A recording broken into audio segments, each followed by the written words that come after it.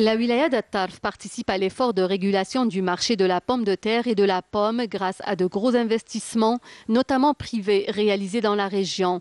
C'est à l'exemple des chambres froides réalisées par Kawesh Abdelwahab, un investisseur privé. À partir de 2001, euh, on a commencé avec 7400 mètres cubes et maintenant on est à 28 000 euh, avec l'aide du soutien de l'État. L'objectif principal, c'était la production de semences et la régulation du marché de la pomme de terre et de la pomme en même temps. On fait du stockage de la pomme de terre euh, sur un programme initié par le ministère de l'Agriculture. Ces chambres froides répondant aux normes internationales en la matière alimentent les wilayas limitrophes, notamment en semences de pommes de terre. Mais les principaux clients sont issus de la wilaya d'El Oued. Il y a eu aussi des tentatives d'exportation. Il y a deux ans, on a essayé avec euh, les pays arabes, enfin c'est Dubaï en quelque sorte. On a exporté à peu près 600 600 tonnes de pommes de terre. Cette année, Inch'Allah, au mois de juin, on prévoit, on prévoit à peu près 2000 à 3000 tonnes d'exportation pour euh, les pays, beaucoup plus les pays arabes. Hein. Parce que cette année, la pomme de terre ne va pas augmenter. Hein. Pour poursuivre ces efforts de régulation et faire tourner ces chambres froides à plein régime, cet investisseur qui a déjà exporté de la pomme de terre souhaite aller vers l'importation de fruits. Toujours dans le même créneau pour faire de la régulation. Euh, c'est une pomme qu'on a achetée euh, presque 2000 tonnes euh, de Khenchla et Betna. La régulation qu'on fait, c'est beaucoup plus pour occuper la, main-d'œuvre. J'ai un message à lancer, c'est que moi je ne vois pas parce que ça fait deux mois quand même que j'ai un dossier pour l'importation de la banane, mais jusqu'à maintenant, je n'ai rien reçu. Abdelwahab Kawash prévoit une extension de son activité. Il s'agit de créer une unité de production de chips et des frites surgelées de plus en plus demandées sur le marché.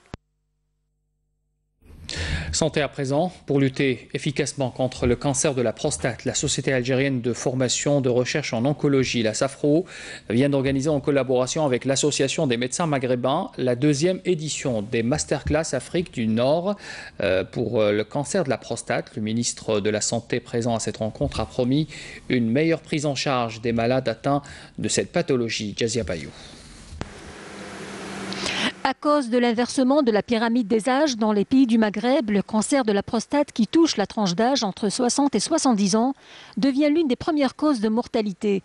Le gouvernement algérien, conscient de ce problème de santé publique, promet de prendre toutes les mesures nécessaires pour une meilleure prise en charge de cette pathologie. Le gouvernement adaptera les mesures aussi bien organisationnelles qui vont permettre une meilleure prise en charge de la pathologie. Il est impératif que nous organisions à partir de cette année, Inch'Allah, qu'on puisse organiser des réseaux de soins. Il faut que demain, aussi bien le médecin que le patient puissent savoir quoi faire, quand et où il doit aller.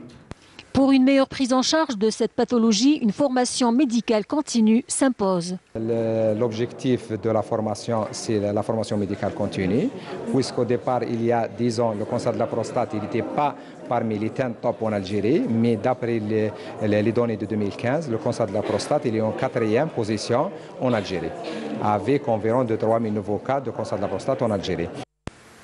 Pour une meilleure collaboration, plus de 150 médecins et experts nationaux et internationaux participent à cette rencontre. Aujourd'hui, on assiste à un masterclass sur le, cancer de la prostate. Donc on regroupe euh, euh, plus de 150 médecins.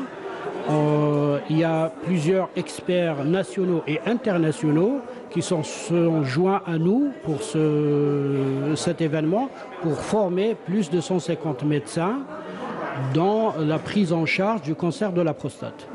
Le cancer de la prostate, un problème de santé publique, certes, mais avec une bonne prise en charge des malades, cette pathologie pourrait être mieux maîtrisée.